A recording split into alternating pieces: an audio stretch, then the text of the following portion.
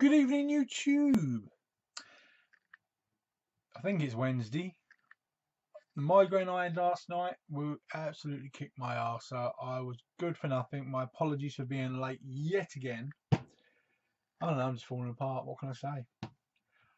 It's top 10 time, but late. So I had, while my brain was trying to call out my left ear I had a bit of time to think about what I wanted to do for a top 10. Now, I look at the release schedules and I'm thinking to myself, mm, what's really making me excited?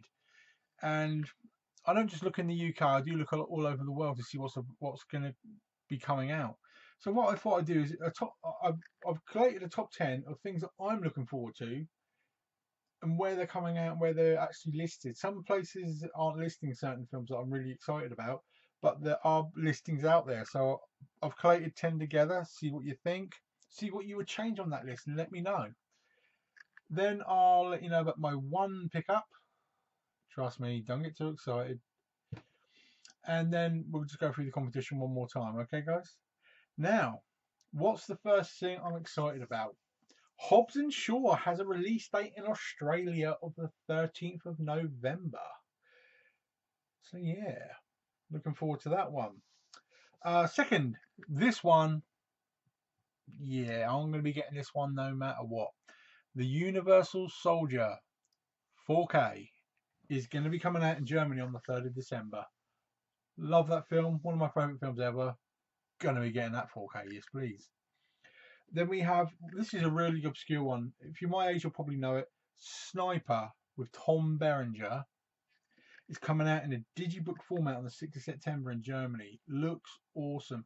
Real nostalgic film. Bloody good film, in my opinion. Definitely worth a pickup. The next one is another slightly obscure one.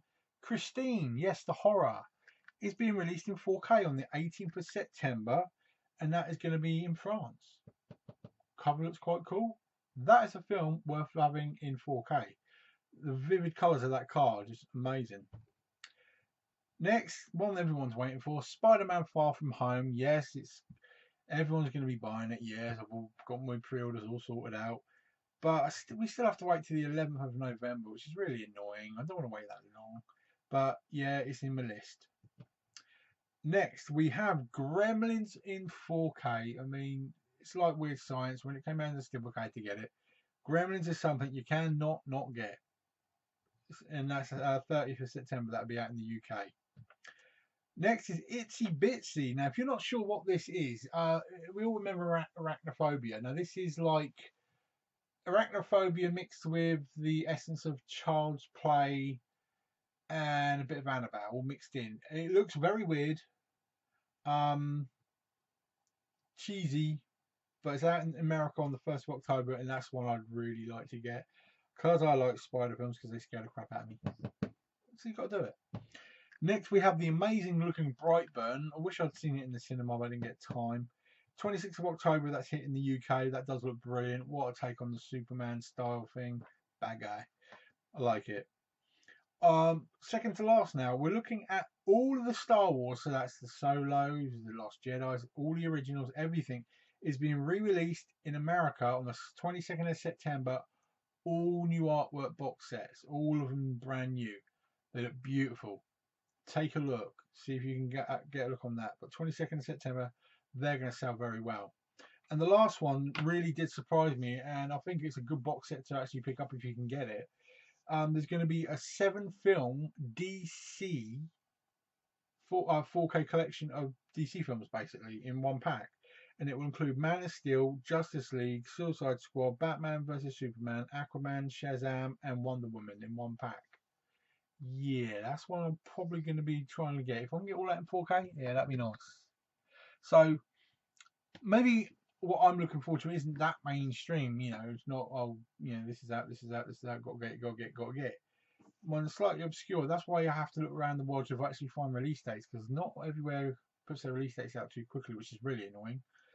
But let me know your thoughts on that. Would you, what what were you actually looking forward to? Let me know. If you're not sure when a release date is, Tell me what the film is and I'll see if I can find out for you as well. Now, well, my one pickup I'll give this film some shit when it came out. I hadn't even seen it. But I thought, why would they charge this price if it wasn't a pile of shit?